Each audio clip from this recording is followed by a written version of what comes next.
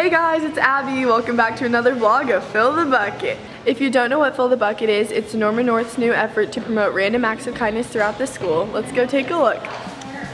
Let's go fill some buckets. Hi, how are you today? Pretty good, how y'all doing? Good, thank you.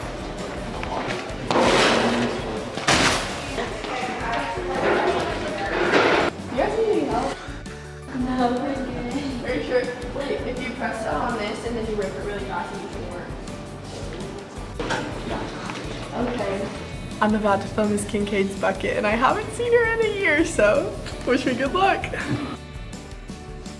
Oh my gosh, I'm fine!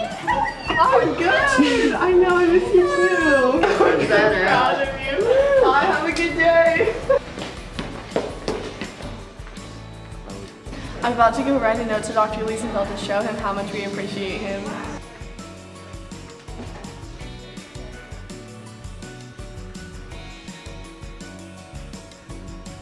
Ah, Thank you. no problem.